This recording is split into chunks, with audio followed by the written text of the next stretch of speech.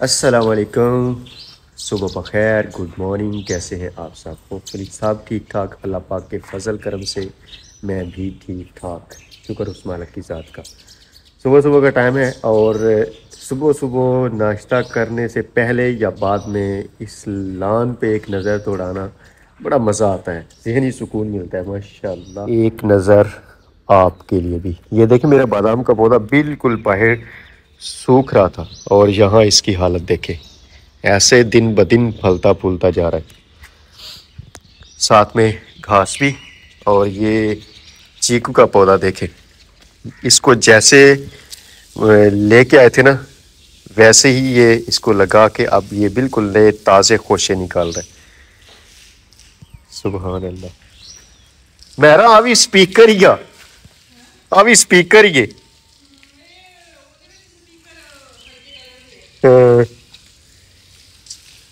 माशाल्लाह। सुबह सुबह जी, हरियाली पे, फूलों पे नज़र पड़े तो बंदे का जहन जो है ना वो फ्रेश हो जाता है। कल मज़े आए थे, देख के इतना खुश हुए स्पेशली ये जो आम है, इनको देख के बहुत खुश हुए। पौधों को पानी लगा लूँ, उसके बाद, जो है ना, मैं कुछ और छोटा मोटा काम करेंगे, और आज अम्मा जी के घर मिलाद पाक की महफिल है तो इन वो भी आपके साथ शेयर करेंगे, क्योंकि हमारे जो नात खान हैं वो माशाल्लाह बड़े ही क्यूट क्यूट से नात खान हैं। इन आपको मज़ा आएगा। सारी महफिल आपके साथ शेयर करेंगे, और बस आज का दिन ऐसा ही ज़बरदस्त गुजरने वाला है। अल्लाह पाक हम सबको अपनी रहमत के साय में रखें। अम्मा जी और बाजिस नवर के घर से वापस आके मिलाद मतलब वहाँ शिरकत करके वापस आके इतना सोए इतना सोए, अभी उठे हैं और कपड़े वगैरह चेंज किए, नमाज़ें सर अदा की है, काम वाले कपड़े पहन लिए। मैंने कहा कि अभी ना सुबह इधर भी माशाल्लाह मेलाद की महफ़िल है और आपको इंशाल्लाह मज़ा आएगा। तो जो सफ़ाई सुथराई का काम है वो बस हो जाते हैं शुरू, हम दोनों पागलों की तरह, चलों की तरह, क्योंकि कोई आम सा मौका हो तो फिर हम जो है ना वो सफ़ाई सुथराई इतनी जो है करते हैं इनहमाक से और ये तो एक ख़ास मौका है। तो बस मैंने नमाज़ अदा कर ली है असर की मेरा नमाज़ असर अदा करने लगी है। वो हो जाती है फारिग तो बस फिर हम शुरू हो जाना है सफ़ाई की तरफ़। जो हम सफ़ाई करेंगे वो जाले वगैरह उतारेंगे दीवारों से पंखों से जो पंखों के लिए जो है ना नया वो मंगवाया हुआ है एक आ, सफ़ाई वाला। वो इस्तेमाल करेंगे, जाले उतारने के लिए, वो ब्रश इस्तेमाल करेंगे और बाहर से बस ना हम धोएँगे। बाकी जो झाड़ू वाला काम ब्रूमिंग वाला काम और ब्रूमिंग, डस्टिंग, मोपिंग अंदर की वो इंशाल्लाह सुबह सुबह उठ के फजर की नमाज़ के बाद हम दोनों जो है ना वो फाइनल कर लेंगे। लेकिन बाहर वाला काम और झाड़ू वाला काम ये अभी कर लेते हैं, क्योंकि अभी टाइम थोड़ा है और बस इतना ही हम निपटा पाएँगे। ये सुबह चार पहियाँ हुमेरा ने माशाल्लाह धोई थी और फिर ना इधर ही रख दी थी। अभी ये सारा दिन इधर ही पड़ी रही हैं। अब ये बिल्कुल जो है ना खुश्क हो गई हैं सूख गई हैं। तो ये भी काफ़ी गंदी हुई पड़ी थी ये भी हुमेरा ने सुबह धो दी थी लगे हाथों।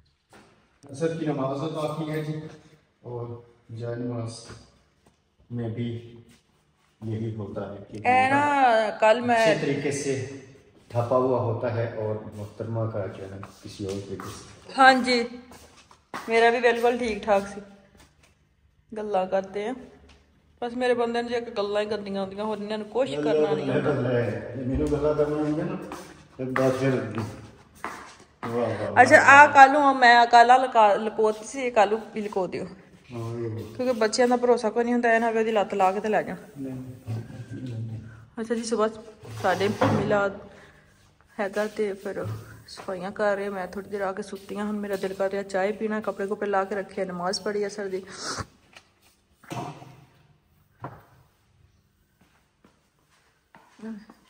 ध्यान चलो जी ਸਾਰੇ ਪਹਿਲਾਂ ਜਾਲੇ ਲਾਵਾਂਗੇ ਹਾਂ ਫਿਰ ਬਾਹਰੋਂ ਜਿਹੜਾ ਨਾ ਉਹ ਧੋਵਾਂਗੇ ਇਸ ਸਮਝ ਅੰਦਰੋਂ ਜਿਹੜਾ ਕਰਨ ਵਾਲਾ ਕੰਮ ਹੈ ਨਾ ਪੋਚੀ ਛੋਟੀ ਜਿਹੜਾ ਤੇ ਝਾੜੂ ਕੁੜੇ ਵਾਲਾ ਇਸ ਵੇਲੇ ਨਾਸ਼ਤਾ ਕਰਕੇ ਦੋ ਵੇਲਾ ਕਰ ਲਾਂਗੇ ਐ ਘਰ ਘਰੇਣਾ ਸੀ ਦੋ ਦਿਨਾਂ ਦੇ ਵਿੱਚ ਹੀ ਚਾਰ ਪੰਜ ਮਾਰੀਆਂ ਵਾ ਤੇ ਆ ਦੇਖੋ ਫਿਰ ਵੀ ਨਿਕਾ ਜਿਹਾ ਘਰ ਲੱਗ ਗਈ ਸੀ ਤੇ ਮੈਂ ਲਾ ਖੇਟੀਆਂ ਅੱਛਾ ਜੀ ਜਾਲੇ ਲਾ ਕੇ ਤੇ ਹੁਣ ਲੱਗੇ ਆ ਜੀ ਇਹਨੂੰ ਕੁੱਬਾ ਕਰਕੇ। ਇਹ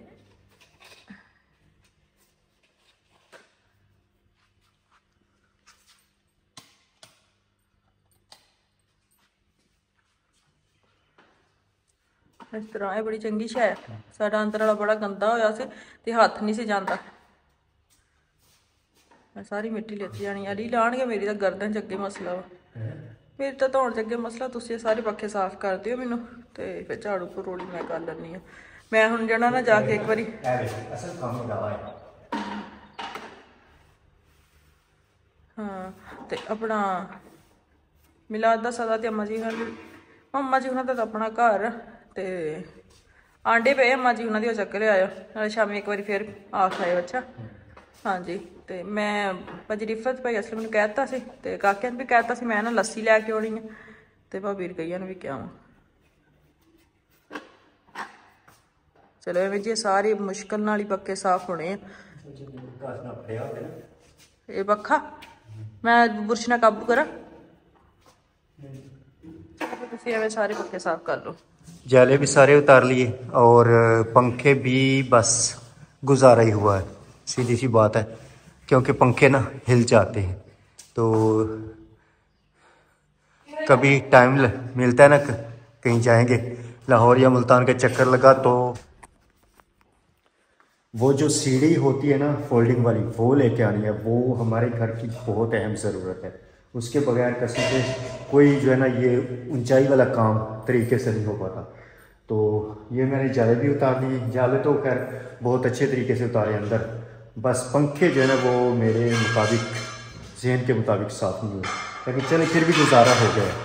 काफ़ी हद तक साफ़ हो गए अभी बाहर जो बैरूनी एरिया ना, उसके भी जाले उतारते हैं दीवारों के साथ और फिर धोने का काम शुरू करेंगे। बाकी काम सुबह इंशाल्लाह। हुमेरा, सुबह मिलाद पाक के लिए जो दही इस्तेमाल होना है ना वो बनाने लगी है और साथ में चाय ਹਾਂਜੀ ਉਹ ਬੋਤਲਾਂ ਸੁਬਾਹ ਰੱਖੋਗੇ ਫ੍ਰਿਜ ਠੰਡੀਆਂ ਹੋ ਜਾਣੀਆਂ ਵਾ ਮੇਰਾ ਆ ਤੇਰਾ ਪੈਨ ਮੈਨੂੰ ਬਿਲਕੁਲ ਨਹੀਂ ਚੰਗਾ ਲੱਗਦਾ ਮੇਰੇ ਇਹ ਜੇ ਭੈਣ ਭਾਈਆਂ ਨੂੰ ਪਤਾ ਵਾ ਜਦੋਂ ਹੁਣ ਪਹਿਲੇ ਪਹਿਲੇ ਕੁਕਿੰਗ ਕਾਟੀਆਂ ਦੀ ਸੀ ਅੱਗ ਤੇ ਤੇ ਉਹ ਸਾਫ਼ ਨਹੀਂ ਹੋਣ ਦਈਆਂ ਕੀ ਕਰਾਂ ਉਹ ਬਸ ਜਿਹੜੀ ਕਾਲੋ ਵਿੱਚ ਵਿੱਚ ਵੜ ਗਈ ਉਹ ਮੈਂ ਕਿੱਦਾਂ ਕਰਾਂ ਦੋ ਤਿੰਨ ਚੀਜ਼ਾਂ ਨੇ ਉਹਨਾਂ ਨੂੰ ਬਦਲ ਦੇ ਹਾਂ ਮੇਰੇ ਜਹੇਜ਼ ਦੇ ਭਾਂਡੇ ਆ ਜਹੇਜ਼ ਦੇ ਭਾਂਡੇ ਨੇ ਤੇ ਧੋ ਕੇ ਰੱਖ ਲੈ ਕਿਤੇ हम धोने लगे थे जी घर, लेकिन कुछ हमारे पड़ोस में ना, थोड़ा सा दूर, थ्रेशर लगी हुई है और वो तिल हार्वेस्ट कर रहे हैं, जिसकी वजह से सारी गर्द डस्ट हमारे घर तक आ रही है। तो हमने डिसाइड किया कि भाई, इससे बेहतर है कि हम सुबह ही जो है ना वो सारे काम निपटा लें। क्योंकि अभी साफ़ करेंगे, धोएँगे, सुबह तक फिर वैसे ही हो जाएगा। इस वजह से हमने अपना जो सफ़ाई का काम है, वो पोस्टपोन कर दिया। सुबह फजर के बाद फ़ौर हमने चाय और फ्रूट का नाश्ता किया। उसके बाद चल सो, चल चल सो, चल चल सो, चल। क्योंकि काम काफ़ी था। शाम को हम सफ़ाई करने लगे, लेकिन वो थ्रेशर लगी हुई थी तो हमने अपना प्रोग्राम रहने दिया। हमने कहा कि सुबह उठ के करेंगे। लेकिन फिर सुबह फिर तो भाई वो कहते हैं कि स्पीड पकड़नी पड़ी। सारा घर साफ़ सुथरा करके जगह रेडी करके हुमेरा अभी बना रही है खाना। मेहमानों के आने से पहले पहले जो है ना वो खाना नज़दीक लग जाएगा। फिर बंदा मिलाद की महफिल में बैठने वाला जगह हमने जो है ना वो यहाँ पे हैं? हाँ यही ठीक है यही ठीक है। सारी जगह तैयार कर ली है। अब हुमेरा लगाएगी खुशबू कितने पे है नहीं, वो तू लाएँगी। हैं? बड़ी तू होशियार सारा मैंने माशाल्लाह साफ़ कर लिया। हुमेरा उधर लगी हुई अपने काम में। सारे कमरे, घर, बाहर वाला हिस्सा, ये वाला हिस्सा। अल्हम्दुलिल्लाह। बस कर ज़्यादा फिर में चढ़ दी। मैंने भी नहा धो के फ्रेश होके कपड़े पहन लिए हैं और अब इंतज़ार कर रहा हूँ अम्मा जी का बाजी का। मेरा ख्याल है भाई मुनवर जो है ना वो लेने गए हैं। मेरा मोटरसाइकिल फिर खजक के अल्हम्दुलिल्लाह, महफिल मिलाद, इतनी खूबसूरत महफिल मिलाद, माशाल्लाह। अख्ताम पजीर हुई और उसके बाद मेहमान मेहमान को सारे घर वाले थे। अम्मा और बाजी लोग भी चले गए। भाई असलम सबसे पहले भाई असलम और भाभी रिफत गए खाना खाने के बाद फिर बच्चे गए भाई मुनवर और भाभी रकिया लोग और फिर अम्मा जी और बाजी लोग भी चले गए। तो बहुत ही माशाल्लाह आज मज़ा आया। आपने उमेरा वाले ब्लॉग में देखा होगा एक डिटेल वीडियो मैंने ना अपलोड की थी। डिटेल ब्लॉग था महफिल मिलाद का।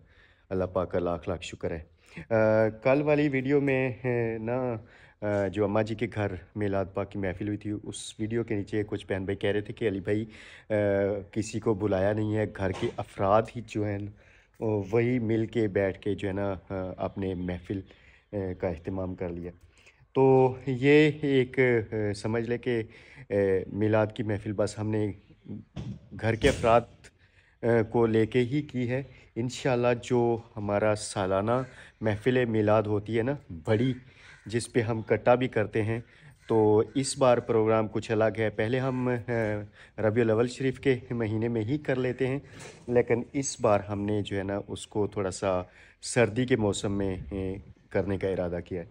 वो उसकी दो वजूहत हैं। एक कि सर्दी के दिनों में सर्दी के महीनों में ना अब्बा जी आते हैं तो वो भी होंगे। और दूसरा काका फ़हीम, उसके मम्मी पापा वो भी होंगे। और तीसरा, तीसरी बड़ी वजह यह कि इतने मेहमानों को संभालना गर्मी के दिनों में, इन दिनों में बहुत मुश्किल हो जाता है।